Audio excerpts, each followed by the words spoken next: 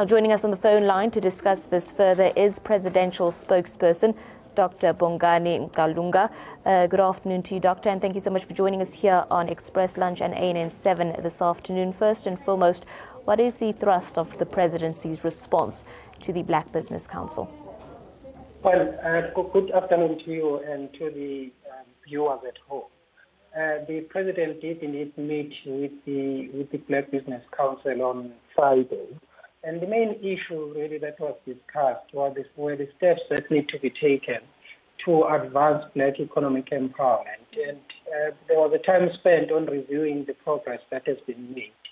And so President Zuma welcomed the contributions by the Black Business Council, especially the proposals that they made with regard to the National Empowerment Fund. There was some proposal about the participation of black asset managers in the SME fund. So there were various issues that were discussed, and President Zuma committed to follow up on those issues.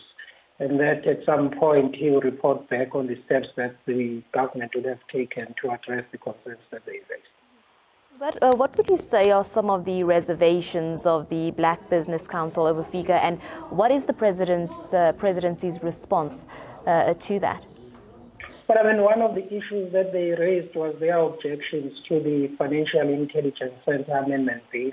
And they are not the first organization that has raised its objections. I mean, we reported last week, we issued a statement where we also revealed that the professional, the Progressive Professionals uh, Forum has also written to the president objecting to, to the bill. And so President Zuma is considering their objections and you will make a decision once he has uh, uh, looked at the matters that they have raised. You very much, uh, Doctor and spokesperson, for your time. Appreciate you talking to us here on ANN7. That was Dr. Bongani Ngqulunga, uh, the presidential spokesperson, just uh, chatting to us about President Jacob Zuma following up on the issues raised uh, by the Black Business Council. We are going to keep you up to date. But yesterday, the Black Business Council President Ndaba Ntsele backed President Jacob Zuma. Let's take listen, uh, a listen in, rather, to what was said.